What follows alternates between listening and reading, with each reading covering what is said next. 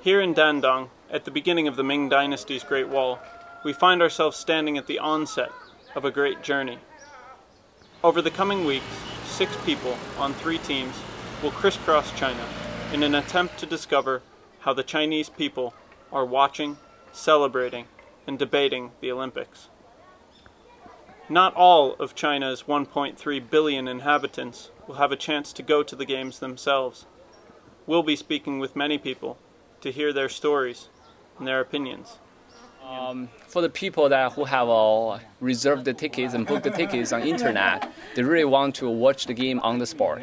They want to go to the stadium and go to the swimming pool. They want to watch uh, the basketball matches and football matches. But uh, because it's difficult for all the people to go to see the live, so probably that watching TV at home is um, it's not bad choice. At least that we can watch the games because this is really wonderful game once in four years.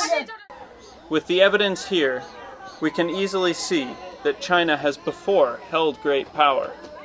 This is a nation of history and complexity. As China seeks to prove its international standing once again by hosting these games, we will be sending in daily video reports from throughout the country. Keep checking back.